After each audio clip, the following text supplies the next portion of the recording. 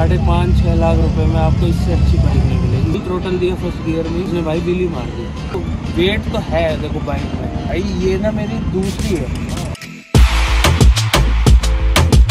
Sir भाई अपने सामने आ जाती है जी एट हंड्रेड ये inline four cylinder eight hundred C C bike है। यहाँ अपने को मीटर दिख जाता है। मीटर देख लो कैसा सा है। काफ़ी बढ़िया सा है। तीन पार्ट्स में डिवाइडेड है। ये आरपीएम के लिए यहाँ पे थोड़ी इन्फॉर्मेशन होती है। यहाँ सारे बटन वगैरह लगे पड़े हैं। इंडिकेटर वगैरह ये देख लो तो यहाँ गेयर शिफ्टिंग इंडिकेटर भी लगा हुआ है। साथ ही में एग्जॉस्ट भी अच्छा लगा हुआ है। देख लो। एक्सेल का एग्जॉस्ट लगा है। स्लिप ऑन ही है ना? हाँ, slip on।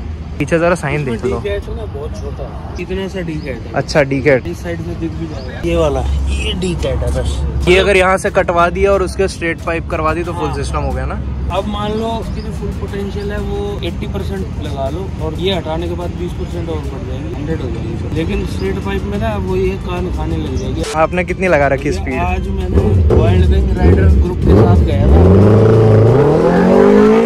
देखो उनका तो कोई मुकाबला है नहीं वो हाँ। तो तीन सौ लगाते हैं। तो मैंने तो करीबन 230 के आसपास देखा था मीटर नेकेड है ना हवा लगती है सीधी छाती पे तो फिर उसके बाद मज़ा नहीं भाई अब नहीं कंट्रोल हो जाती है हाँ इजली कंट्रोल तो हो जाती है वो कोई बात नहीं है। और एवरेज वगैरह वही अठारह हो सत्रह अठारह ऐसी। सत्रह अठारह दे देती है। अगर डिसेंट चलाओगे तो सत्रह अठारह दे देती है।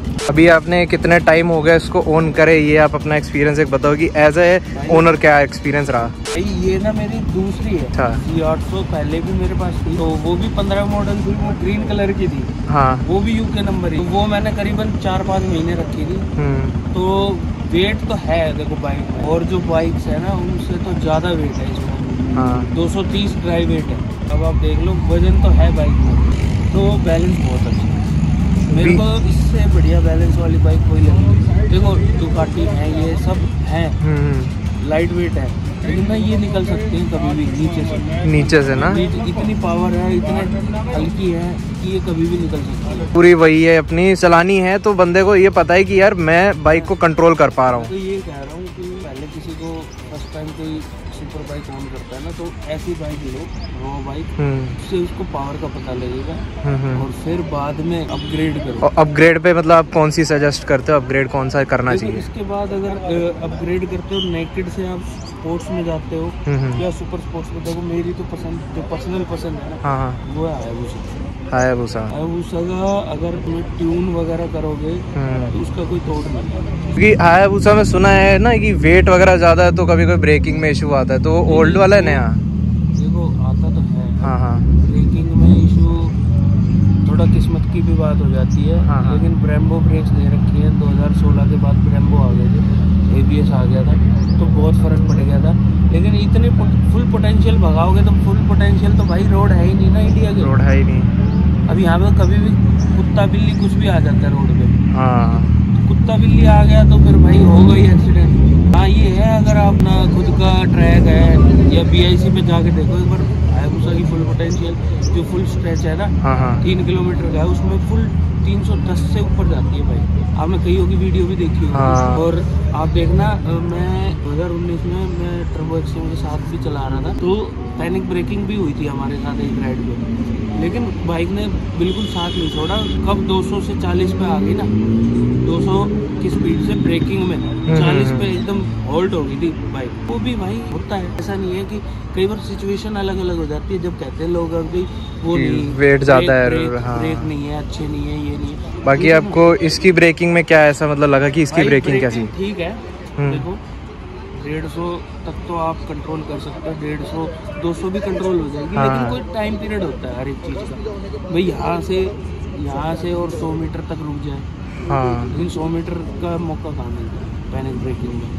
ये पंद्रह है। पंद्रह। अच्छा पंद्रह में ही सी बी यूनिट मिल गया आपको बढ़िया। और सोलह रजिस्टर्ड सोलह रजिस्टर्ड है। चलाई कितनी आपने मतलब जितने टाइम में? भाई इसको दो हज़ार किलोमीटर चला दी। दो हज़ार दो हज़ार में मज़ा आ रहा है बिल्कुल ही। देखो टोटल आपके हाथ में है। आप हाँ। कोई सी भी बाइक को गिरा सकते हो कोई सी बाइक को कर सकते संभाल सकते हैं। लेकिन वही है कि इससे अच्छी बाइक ना मतलब कि वेट से आपको ना पता लग जाएगा कि सुपर बाइक में वेट कितना होता है। और इसने कभी डराया आपको? मतलब हाईवे पे ऐसा लगा हो कि डरा दिया? इसने भाई जिस दिन मैंने इसकी डिलीवरी ली थी ना हम्म। उस दिन मैं मेरे को तो वही अपना 2019 वाला बहम था कि हो जाएगी कंट्रोल मैंने फुल थ्रोटल दिया फ़र्स्ट गियर में। इसने भाई बिली मार दी। बाकी इसका सीट कंफर्ट आपको कैसा लगा अभी तक का? सीट कंफर्ट अच्छा है मतलब तीन चार चीज़ें ये है कि एक इसका विंड ब्लास्ट सबसे बड़ा इशू रहता है कि हाँ, आने लगता है हाई स्पीड पे। छः साढ़े छः लाख में आपको जो है सबसे बढ़िया ऑप्शन यही रहता है लोगों के लिए। साढ़े पाँच से छः लाख रुपए में सबसे बढ़िया ऑप्शन और स्टार्टअप के लिए जिसको सुपर बाइक पे आना ही है जो शिफ्ट करना हाँ, है हाँ। मतलब जो मतलब जैसे अगर हमारी ये डोमिनार है तो हम डोमिनार से उठ के सीधा इस बाइक पे आ जाए। तो मैं तो ये रेकमेंड करूँगा कि आप इसके बाद ना एक बार 390 और ट्राई करो ड्यूक क्योंकि वो भी रॉ पावर है। रॉ और वो भी ओल्ड वाला वर्जन की जिसमें मतलब टी एफ़ टी वाले में नहीं। सकते नहीं नहीं टीएफटी वाली भी देख सकते हो उसमें भी अच्छी पावर है ऐसी बात नहीं है। वो ट्राई करने के बाद फिर आप इस पर स्विच कर सकते हो। पर एक चीज़ मेरे को क्वेश्चन आता है कि सेकेंड हैंड में हम लोगों को क्या क्या चीज़ें देखनी चाहिए। जैसे आपने सुपर बाइक दो बार ऑन करी है तो आपको एग्जैक्ट पता होगा कि क्या क्या देखना है पहले। ये जो सब फ्रेम होता है ना हाँ, ये हाँ। फ्रेम है इसमें आपको देखना है कोई वेल्डिंग वैसी तो नहीं है। दूसरा आप ना अंडर बैली जो इंजन के नीचे है ना हाँ हाँ। उस पर आप थोड़ा हाथ मार के देखो। कहीं स्क्रैचेस वगैरह तो नहीं क्योंकि हमारे रोड्स पे आपको पता है गड्ढे ज़्यादा है रोड कम है। हाँ और स्पीड ब्रेकर भी है। ऊँचे ऊँचे हैं। तो नीचे से भी लग जाती है कई बार बाइक तो उसमें नीचे से कहीं ऑयल ऑयल ना लीक हो ना? और एक बंदा ना आपके साथ दो बंदे जाओ। हम्म। एक बंदा दूसरी बाइक पे हो या गाड़ी में हो वो उसके ना अलाइनमेंट देखे टायर्स का। अगला पीछे की तरफ़ से। आउट तो नहीं है थोड़ा सा बाहर तो नहीं है। इसका रेडिएटर जैसे है तो इस पे रेडिएटर में क्या मतलब आपको पता चल सकता है कि क्या क्या दिक्कत है?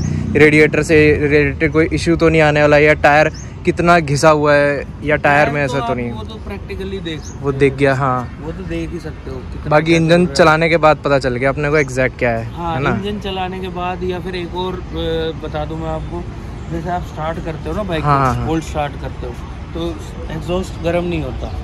आप क्या करो यहाँ पे कोई कपड़ा लगाओ हाँ हाँ। अच्छे से इसको ब्लॉक कर दो फिर इंजन की पूरी पिस्टन की आवाज़ें आएँगी।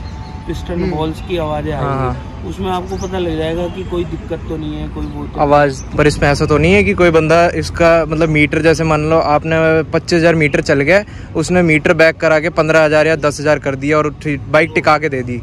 उसमें कुछ दिक्कत आए। देता हूँ आपको ये जो अपने चल रहा है ना कि सेकंड हैंड गाड़ियों में मीटर बैक हो जाता हाँ हाँ है। इनका मीटर बहुत सेंसिटिव है। मतलब एक ECU तो होता ही होता हाँ। है हाँ। और ये समझ लो कि आधा ECU उसमें भी है। तो वो ECU वर्क नहीं करेगा आपको मीटर में दिक्कत दिख जाएगी। मीटर में ना मतलब लाइटें चलने लगेंगी। हाँ कुछ ना कुछ इशू आ ही जाएगा। वाला टायर लगा दूँ मैं आपको। यहाँ पे ये देखो ये दरारें आ रखी हैं। हाँ हाँ। तो ये सूख चुका है। लेकिन मैं इसको इसलिए चला रहा हूँ कि भाई देखो ऐसा है कोई भी चांदी की चम्मच लेके पैदा नहीं होता। हाँ। कोई एक आध दो आदमी होते हैं वैसे ऑर्डर कर रखा है। पर है कितने का? मतलब टायर इसका पीछे का और आगे का? सेट अगर टायरों का? गडिस्टिन टायर आता है अपोलो की ब्रांच है। हाँ हाँ। उसका टायर मिलता है आपको छब्बीस हज़ार रुपये का। वो सबसे सस्ता है दोनों आगे पीछे? आगे पीछे छब्बीस हज़ार रुपये का सेट मिल जाएगा। अच्छा। और अगर ब्रिस्टोन वगैरह मिशलिन वगैरह के लिए ऑप्ट करते हो आप तो वो आपको मिलेगा करीबन छियालीस हज़ार के आसपास। ओ भाई साहब। मतलब। सुपर बाइक दे दे तो बहुत हम्म। बड़ी बात है। सुपर बाइक मतलब ओन करने के बाद ही आगे के खर्चे जो है ना ये सारे मेन मेन है कि टायर कितने का खर्चा जा रहा है और बाकी सर्विसिंग में कितना कॉस्ट जा रहा है? भाई सर्विसिंग में देखो सबसे किफ़ायती मैं कहूँगा कवासाकी सात हाँ, वो तो- में नॉर्मल सर्विस कंपनी से। हो जाती है। आठ हज़ार रुपये नौ हज़ार रुपये में हो जाएगी। और चलती कितना किलोमीटर है? मतलब एक होता है ना किलोमीटर चला एक सर्विस पे। मैं तो यही कहूँगा कि भाई जल्दी करवा लो क्योंकि ऐसा है अपने जो इंडिया के जो वेदर कंडीशन है ना हम्म, हम्म, वो बिल्कुल डिफरेंट है। अब देखो कितनी सर्दी और एक महीने बाद देखना कितनी गर्मी कितनी गर्मी हो अभी से होने लगी गर्मी भी। एक्सट्रीम हो जाएगी। तो उसमें वही है कि थोड़ा सा अपने हिसाब से मतलब बाकी मस्ट रिकमेंडेड बाइक में आ गई है ये कि मतलब अगर आपका बजट है कि डोमिनार या फिर ड्यूक वगैरह से उठने का तो आप इस बाइक पे जा सकते हो। बाकी इसकी आफ्टर मतलब जो है सीरीज़ वगैरह ऐसे लगवानी है तो उसमें क्या क्या लगवा सकते हैं आपके हिसाब से? कि जो मेन मेन खर्चा है आपके हिसाब से। हाँ हाँ। जितने पैसे लगाओ उतने थोड़े उतने थोड़े कुछ भी लगा सकते हो आप टाइटेनियम लगा सकते हो फुल एग्जॉस्ट सिस्टम कर सकते हो। फिनिश करवा सकते हो कार्बन पार्ट्स लगा सकते हो। अब तो इंडिया में कुछ भी एक्सेस कर सकते हो आप। इंडिया वो नहीं रहा कि भाई वहाँ से थाईलैंड से मंगा मंगाते तो अब भी थाईलैंड से है। हाँ, थाईलैंड की तो है पूरी बाइक हाँ। लेकिन अब आपको सब कुछ मिल जाता है। बाकी एक बार भैया स्टार्ट करके दिखाना है इसको। स्टार्ट नॉर्मल है कोई क्लच वगैरह दबानी नहीं पड़ती ये एग्जॉस्ट है इसका। और ये ये आरपीएम है ये कितना आरपीएम जाता है?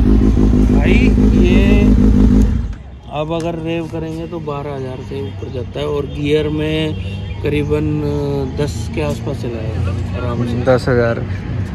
तो ओवरऑल भैया की तरफ़ से आपने सुन लिया कि क्या भैया का जो है एक ओवरव्यू है इस बाइक के साथ। बाकी तो इतना जो है डिटेल्ड वगैरह तो बची नहीं है। सारी एक एक चीज़ हमने कवर तो कर ही ली है। बाकी राइड एक्सपीरियंस भी भैया का हमने देखा ही है। और साथ ही आपने लास्ट वीडियो में चेकआउट करी था कि व्हीलिया भी भैया जो कितना आराम से लगा सकते हैं। तो जिसको व्हीली के लिए लेनी है भाई, वो भी बहुत बढ़िया बाइक है। और बाइक पसंद आ गई तो वीडियो कर देना लाइक चैनल कर देना सब्सक्राइब दोनों का मैं दोनों का चैनल डाल दूँगा और अपना भी डाल दूँगा। और भाई मिलते हैं किसी नई वीडियो में till then bye bye right से राइड लॉन्ग स्टे से this is H D with sky और ओवरव्यू कैसा लगा, ज़रूर से बताना। और नेक्स्ट बाइक बता देना कौन सी आपको चाहिए बाकी तैयार रहो स्टेट ट्यून